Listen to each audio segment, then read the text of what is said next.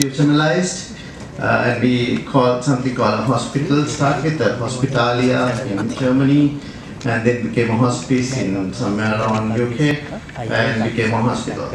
And a few people got involved in as uh, rightly uh, uh, uh, mother of uh, nursing um, Florence Nightingale, the name was mentioned. She was instrumental in having cleaner uh, Moyali and more having more light in the wards.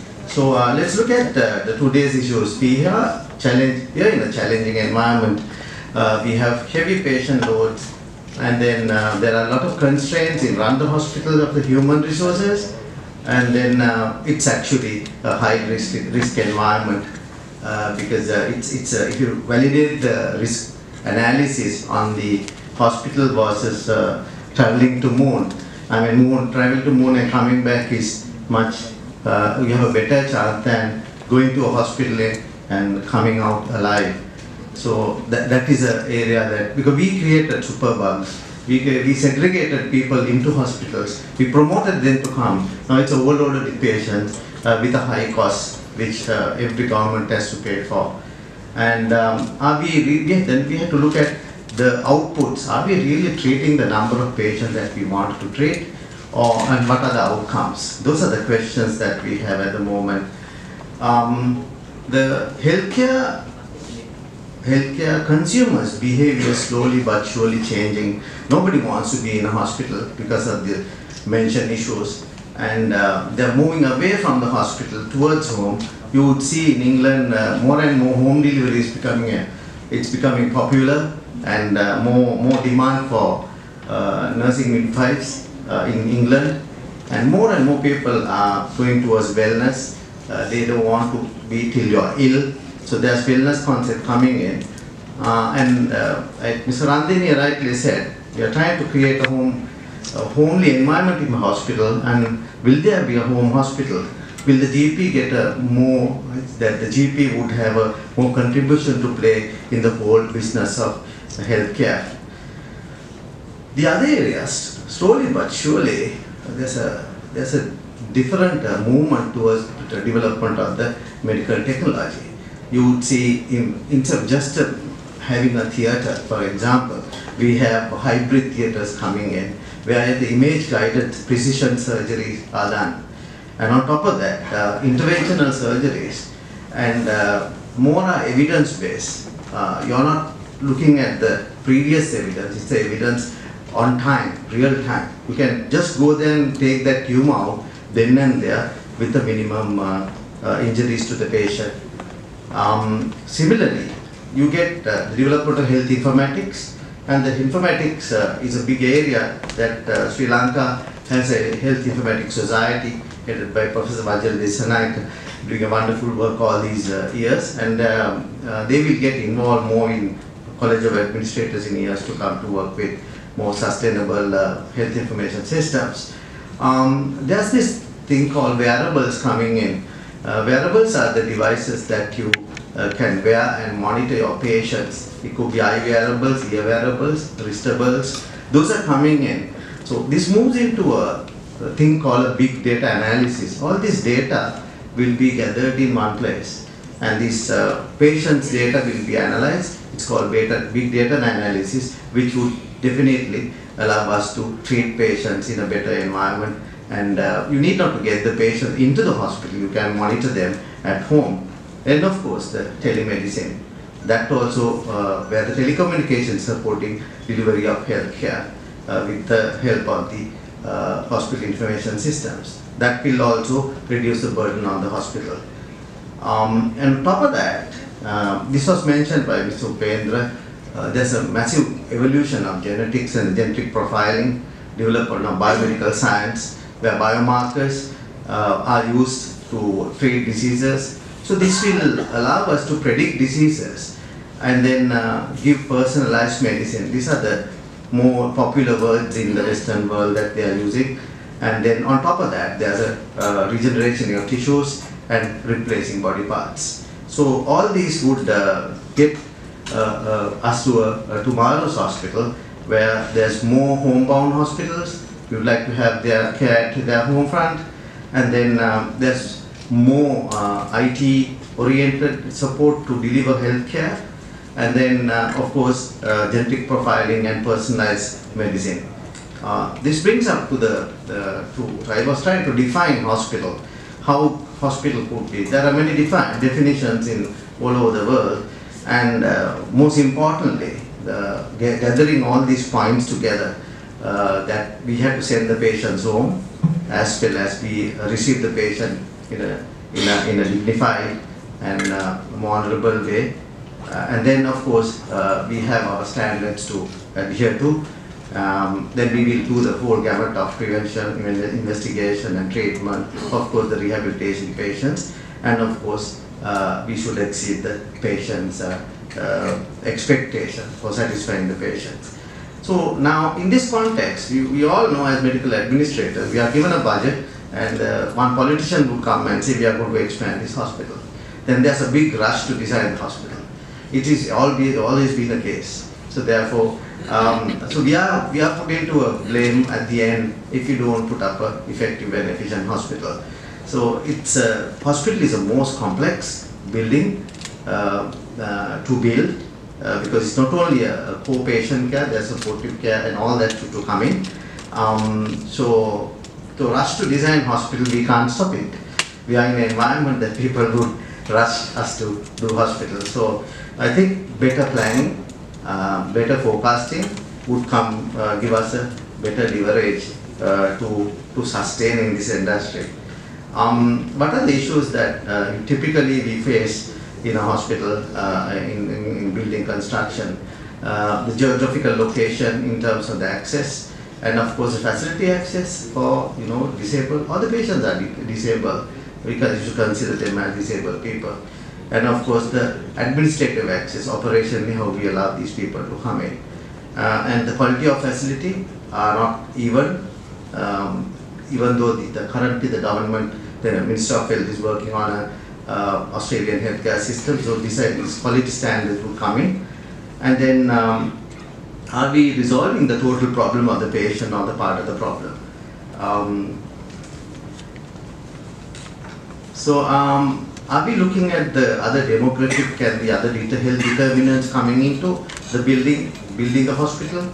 Uh, understand the trends and uh, evolution of uh, medical advancement, and then uh, of course uh, different cultures would expect different.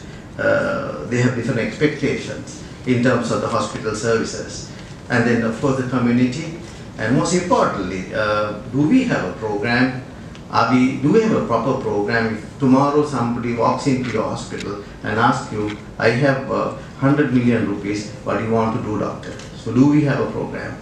Have you done research in our hospitals sector? Uh, what are the deficiencies? Uh, do we have a master plan in our hospitals? And have we had discussions with our staff and the others? Those are the general issues that we have at the moment. Um, this brings uh, me to uh, give you an insight to the typical uh, phases in a hospital project. Uh, there's more depending on the hospital cons hospital size and the scale.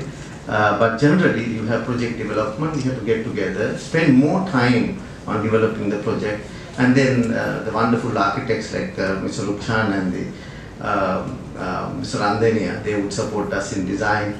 Uh, there's approval process. Uh, uh, there's about almost 24 approval processes in the if you are doing one in hospital, the private sector. there's construction. You have to do civil construction, mechanical and engineering. equipment management is a big area in hospitals. Human resource planning, supplies management, then put up operational systems, uh, then software and IT systems will come in, and then commissioning is a massive, very sensitive area. And then finally, uh, you look at the operational management in the hospital. Uh, in the project development phase, as I told you, I have to spend more time on this, and then uh, we have to do a feasibility study. Uh, every hospital should have a feasibility done, individual hospitals, where, where the, irrespective of the size and size of the hospital and geographical location. Um, then once you do that, if it's a new hospital, we build up a concept, uh, and then comes the medical services plan, which is my top topic proper. Uh, we de develop a model hospital model, what type of a model we are going to put in, and then uh, how we are going to build it is a project model. Uh, soon after, we will develop the space program in each individual areas, how it should be, and the size and the scale, and then of course the, we have to consider the finances. Uh, then the architects would come in and support.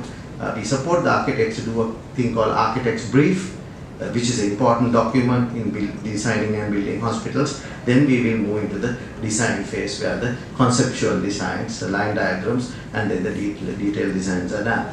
So let me go into the medical program planning. Um, this is the most medical program planning is a comprehensive document or a description uh, on a plan medical services uh, delivered in the proposed hospital. Um, uh, a sound medical plan would definitely support you to give a, uh, give a better, uh, very efficient, very effective, and also uh, a more flexible hospital. What I meant by a flexible hospital, it allows you to expand your product portfolio, your service levels. It allows you to expand your infrastructure if you have planned it well. Um, then once you have a proper medical plan, program plan, then it supports not only building the hospital but also the other uh, project development project phases I mentioned, such as human resource and equipments, operations, quality, etc. Um, uh, what is a medical pro, uh, medical program? Um, this a description of this program uh, medical services, uh, it's a totally responsibility lies with the hospital administrator. But uh, it's, a, it's a teamwork. You have to get your doctors, nurses, paramedics, uh, and especially the infection control team, and uh, of course work with the hospital designers from there onwards.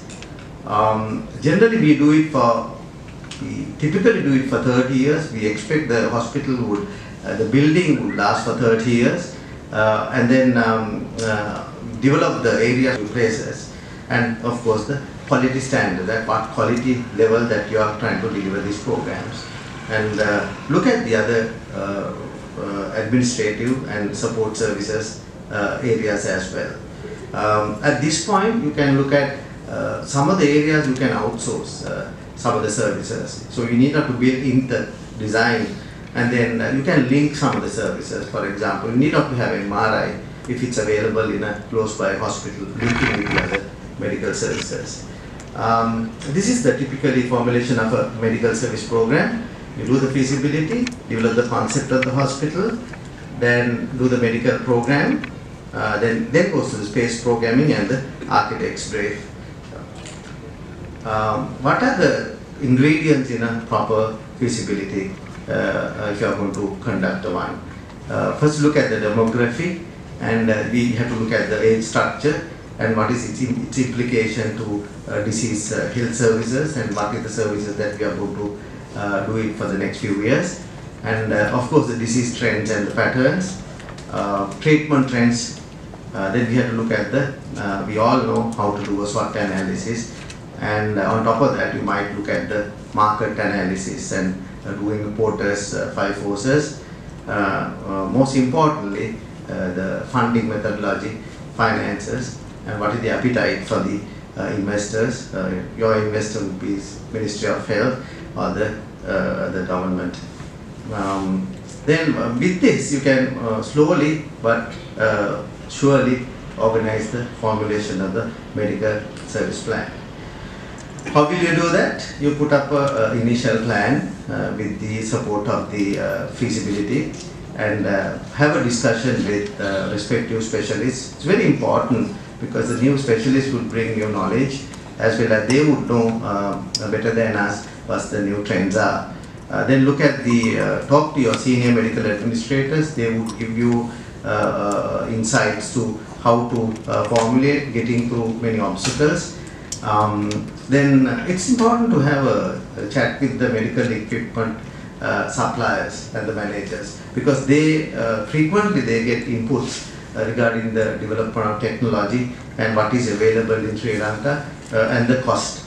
Uh, they write down a comprehensive description um, of the individual services in specific areas you mentioned and then um, uh, whilst you do that please look at the sustainability and the other uh, whole other environmental as- aspects uh, what we heard in the morning, and then finalize the plan. This is a very simple approach, but it's though it looks simple, it's a very complicated and important aspect of development of the uh, total uh, hospital. So these are the things I want to share with you. Uh, and of course, we will have uh, a little bit of time at the end to, uh, uh, to answer some of the questions. Thank you.